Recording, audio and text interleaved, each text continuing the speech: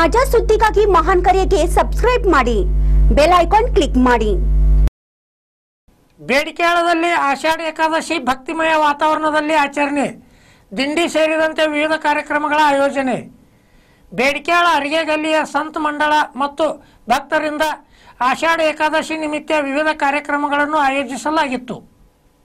ಇಂದು ನಸುಕಿನಲ್ಲಿ ಶ್ರೀ ವಿಠಲ್ ರುಕ್ಮಿಣಿ ದೇವರಿಗೆ ಡಾಕ್ಟರ್ ರಾಜೇಂದ್ರ ಜೋಶಿ, ಸುರೇಶ್ ದೇಸಾಯಿ, ಸಂಜಯ್ ಪಾಟೀಲ್ ಸೇರಿದಂತೆ ಅನೇಕ ಭಕ್ತರು ಸೇರಿ ಮಹಾಭಿಷೇಕ ಮತ್ತು ಪೂಜೆ ನೆರವೇರಿಸಿದ್ದರು.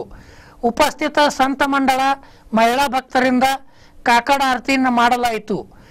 ಶ್ರೀ ಪಾಂಡುರಂಗ್ ರುಕ್ಮಿಣಿಗೆ ವಿಶೇಷ ವಸ್ತ್ರಾಂಕಾಲ, ವಸ್ತ್ರಾಲಂಕಾರ ಮಾಡಿ ಹೂವಿನಿಂದ ಸಿಂಗರಿಸಲಾಗಿತ್ತು ಬೆಳಿಗ್ಗೆ ಸಮಸ್ತ ಸಂತ ಮಂಡಳ ಮತ್ತು ಭಕ್ತರಿಂದ ಶ್ರೀ ವಿಠ್ಠಲ ಮಂದಿರದಿಂದ ಹರಿನಾಮ ಜಪದೊಂದಿಗೆ ಮಂದಿರ ಪ್ರದಕ್ಷಿಣೆ ನಂತರ ದಿಂಡಿ ನಡೆಯಿತು.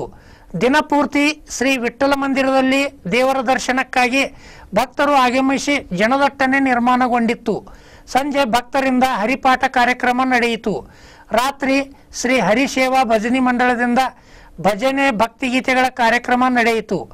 ಮಹಾನ್ಕಾರ್ ನ್ಯೂಸ್ಗಾಗಿ ಬೇಡಿಕೆಳದಿಂದ ಕೃಷ್ಣ ಅರಿಗೆ.